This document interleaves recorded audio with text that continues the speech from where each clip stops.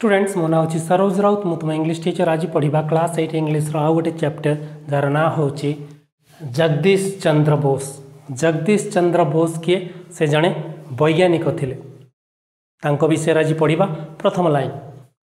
Jagdish Chandra Bose is one of the most prominent scientist of the world prominent प्रमुख। जगदीश चंद्र बोस पृथ्वी जिते वैज्ञानिक थिले ବା ଅଛନ୍ତି ତାଙ୍କ ଭିତରେ ଜଣେ ପ୍ରମୁଖ ବୈଜ୍ଞାନିକ ଥିଲେ।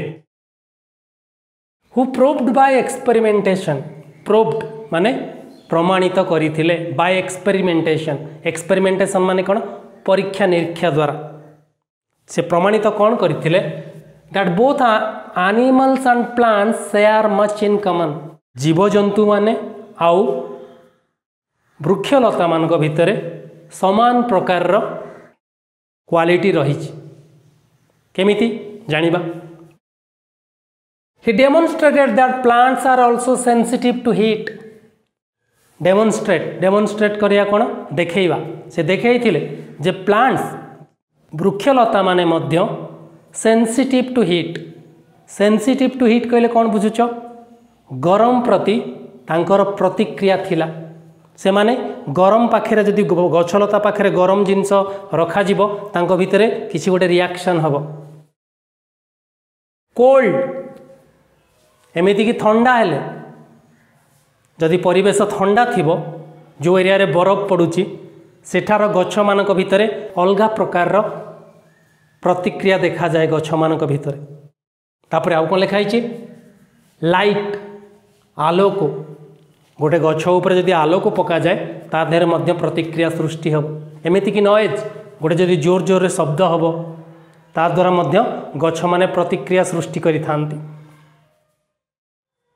And various other external stimuli ଏବଂ ଅନ୍ୟ ପ୍ରକାର ଷ୍ଟିମୁଲି ଷ୍ଟିମୁଲି କହିଲେ କ'ଣ? ଆମେ ଗୋଟେ ପ୍ରତିକ୍ରିୟା ଦେବା କୌଣସି ଜିନିଷକୁ।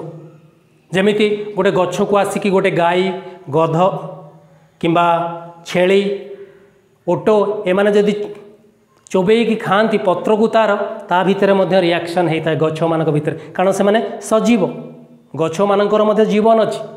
ସେମାନେ ଏଇ ଏଇ ଜିନିଷରେ ଯଦି ତାଙ୍କ ସହିତ କରାଯାଏ ତାହେଲେ ତାଙ୍କ ଭିତରେ ପ୍ରତିକ୍ରିୟା ସୃଷ୍ଟି ହୁଏ।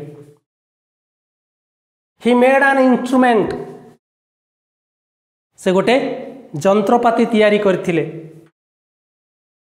କଲ୍ଡ କ୍ରେସ୍କୋଗ୍ରାଫ ସେ କ୍ରେସ୍କୋଗ୍ରାଫ ବୋଲି ଗୋଟେ ଯନ୍ତ୍ରପାତି ତିଆରି କରିଥିଲେ for the purpose he wrote two very famous books ସେଇ ଉଦ୍ଦେଶ୍ୟରେ ସେ ଦୁଇଟା ସେ କ୍ରେସ୍କୋଗ୍ରାଫ ବିଷୟରେ ଲୋକଙ୍କୁ ଜଣାଇବା ପାଇଁ ସେ ଦୁଇଟା ବହି ଲେଖିଥିଲେ ଫେମସ୍ ବୁକ୍ସ ପ୍ରସିଦ୍ଧ ବହି ଲେଖିଥିଲେ କ'ଣ ସେଇଟା response in the living and non living response ମାନେ କ'ଣ? ପ୍ରତିକ୍ରିୟା। ଲିଭିଂ ସଜୀବ ନନ୍ ଲିଭିଂ ନିର୍ଜୀବ। ପ୍ରତିକ୍ରିୟା ନିର୍ଜୀବ ଆଉ ସଜୀବ ଭିତରେ କ'ଣ ଥାଏ ସେଇଟା ଜଣାଇବା ପାଇଁ ସେ ଗୋଟେ ପ୍ରସିଦ୍ଧ ବହି ଲେଖିଥିଲେ। And the nervous mechanism of plants ଏବଂ ଆଉ ଗୋଟେ ଲେଖିଥିଲେ ଗୋଟେ ମେକାନିଜିମ୍ ନର୍ଭସ୍ ମେକାନିଜିମ୍ ପ୍ଲାଣ୍ଟସ୍ ମାନଙ୍କର ବିଷୟରେ ସେ ଲେଖିଥିଲେ। ପ୍ରଥମ ବହିଟା ଉଣେଇଶହ ଦୁଇ ମସିହାରେ ଲେଖିଥିଲେ ଦ୍ୱିତୀୟ ବହିଟା ଉଣେଇଶହ ଛବିଶ ମସିହାରେ ଲେଖିଥିଲେ। He was born on thirty November eighteen fifty eight ତିରିଶ ନଭେମ୍ବର ଅଠରଶହ ଅଠାବନ ମସିହାରେ ସେ ଜନ୍ମଗ୍ରହଣ କରିଥିଲେ। At Mymensingh Mymensingh ନାମକ ଏକ ଜାଗାରେ ସେ ଜନ୍ମଗ୍ରହଣ କରିଥିଲେ। In Bangla now in Bangladesh ଆଗରୁ ବାଂଲାଦେଶ ପାକିସ୍ତାନ ବ୍ରହ୍ମଦେଶ ବା ମିଆଁମାର ଆଗରୁ ଆମ ଭାରତ ସହିତ ମିଶିକି ଥିଲା ଅଠରଶହ ଅଠାବନ ମସିହାରେ ବାଂଲାଦେଶ ଭାରତ ସହିତ ମିଶିକି ଥିଲା ସେ ବାଂଲାଦେଶରେ ଜନ୍ମଗ୍ରହଣ କରିଥିଲେ କେଉଁ ଜାଗା ମିମେନ୍ ସିଂ ମିମେନ୍ ସିଂ ନାମକ ଏକ ଜାଗାରେ ସେ ଜନ୍ମଗ୍ରହଣ କରିଥିଲେ ଯେଉଁଟାକି ଏବେ ବାଂଲାଦେଶରେ ଅଛି ଯେହେତୁ ବାଂଲାଦେଶ ସେ ସମୟରେ ଭାରତ ସହିତ ମିଶିକି ଥିଲା ତେଣୁ ସେ ଭାରତୀୟ ଥିଲେ Jagadish Chandra Bose he got his elementary education from a vernacular school he got his education ସେ ଶିକ୍ଷା ପାଇଥିଲେ କେଉଁଠୁ ଗୋଟେ ଭର୍ନାଲକୁଲାର ସ୍କୁଲରୁ ଭର୍ଣ୍ଣାକୁଲାର କ'ଣ ଏବେ ଆମେ ଓଡ଼ିଆ ପଢ଼ୁଛେ ଓଡ଼ିଆ ହେଲା ভর্নাকুলার স্কুল কোটাকে কুযায়ে যেটি ওড়িয়ার পাঠ পড়া যায় সেটা ভর্নাকুলার স্কুল যেটি বেঙ্গলি পাঠ পড়া যায় সেটা ভর্নাকুলার স্কুল ভারতের যেতে রাজ্য অছি সেমানকর ভাষাকু নেইকি যে স্কুল থাকে যেমি Telugu medium Odia medium Bengali medium সেটি শিক্ষার মাধ্যমটা কোণ তাঁক নিজ মাতৃভাষা সেমিতি জগদীশ চন্দ্র বোস নিজ মাতৃভাষায় তাঁর বেঙ্গলি তাঁর মাতৃভাষা লা ସେଇ ମାତୃଭାଷାରେ ସେଇ ସ୍କୁଲରେ ସେ ପଢ଼ିଥିଲେ। ତାଙ୍କର ପ୍ରାଥମିକ ଶିକ୍ଷା ଏଲିମେଣ୍ଟାରୀ ସ୍କୁଲ ପ୍ରାଥମିକ ଶିକ୍ଷା ସେ ଏକ ବେଙ୍ଗଲୀ ମିଡ଼ିୟମ୍ ସ୍କୁଲରୁ ପଢ଼ିଥିଲେ। Because his father thought that both should learn his own mother tongue Bengali before studying a foreign language like English ସେ କାହିଁକି ବେଙ୍ଗଲୀ ମିଡ଼ିୟମ୍ ସ୍କୁଲରେ ପଢ଼ିଥିଲେ? କାରଣ ତାଙ୍କ ବାପା ଚାହୁଁଥିଲେ ଇଂଲିଶ ଶିଖିବା ପୂର୍ବରୁ ଇଂଲିଶଟା ଗୋଟେ ଫରେନ୍ ଲାଙ୍ଗୁଏଜ୍ फरेन लांगुएज माने कौन विदेशी भाषा।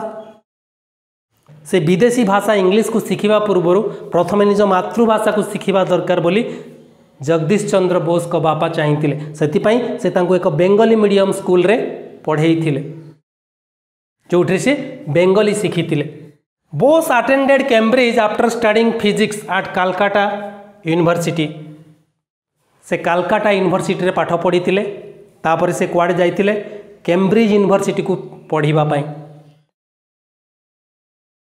He return to India in eighteen eighty four ଅଠରଶହ ଚଉରାଅଶୀ ମସିହାରେ ତାଙ୍କର ପାଠପଢ଼ା ଶେଷ କରି ସେ ଭାରତକୁ ଫେରିଥିଲେ। After completing a B S C degree from Cambridge university ସେ କେମ୍ବ୍ରିଜ୍ ୟୁନିଭର୍ସିଟିରେ ବି ଏସ୍ ସି କରିଥିଲେ। ବି ଏସ୍ ସି କ'ଣ? ବ୍ୟାଚଲର ଇନ୍ ସାଇନ୍ସ ସେ ଜଣେ ସାଇନ୍ସ ଷ୍ଟୁଡେଣ୍ଟ ଥିଲେ। ଆଉ କେମ୍ବ୍ରିଜ୍ ୟୁନିଭର୍ସିଟିରୁ ସେ ସମୟରେ ସେ ବି ଏସ୍ ସି କରିଥିଲେ। ମାନେ ସେ କେତେ ଟ୍ୟାଲେଣ୍ଟେଡ଼ ନଥିବେ।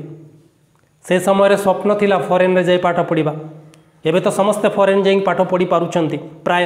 କିନ୍ତୁ ସେ ସମୟରେ ଫରେନ୍ରେ ଯାଇକି ପାଠ ପଢ଼ିବା କେତେ ଟ୍ୟାଲେଣ୍ଟେଡ଼ ଥିଲେ ବୋଲି ସେ କେମ୍ବ୍ରିଜ୍ ୟୁନିଭର୍ସିଟିରେ ସିଟ୍ ପାଇଥିଲେ।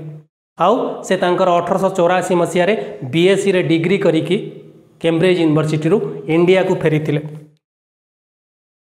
He died in the year nineteen thirty seven ଉଣେଇଶହ ସଇଁତିରିଶ ମସିହାରେ ତାଙ୍କର ମୃତ୍ୟୁ ହେଇଥିଲା। ତ ଷ୍ଟୁଡେଣ୍ଟ ଏଇଠି ସରିଲା। ଆଜିର ଏଇ ଚାପ୍ଟର ଯାହାର ନାଁ ଥିଲା ଜଗଦୀଶ ଚନ୍ଦ୍ର ବୋଷ। ଆଶା କରୁଛି ତୁମକୁ ଏ ଚାପ୍ଟର ଭଲ ଲାଗିଥିବ। ଏଭଳି ନୂଆ ନୂଆ ଚାପ୍ଟର ନୂଆ ନୂଆ ଭିଡ଼ିଓ ଦେଖିବା ପାଇଁ ଏଲ୍ ଆର୍ ଏନ୍ ଆର୍ କ୍ଲାସେସ୍କୁ ଲାଇକ୍ କର ସବସ୍କ୍ରାଇବ୍ କର ଆଉ ମୋତେ ବିଦାୟ ଦିଅ। ନମସ୍କାର।